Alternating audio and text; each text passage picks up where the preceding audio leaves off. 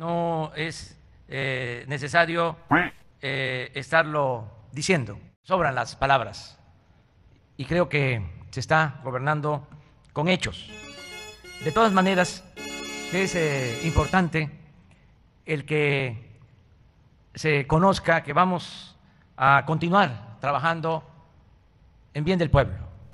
Entonces, cuando terminemos el gobierno, todas las escuelas de México deben de contar con su presupuesto para el mantenimiento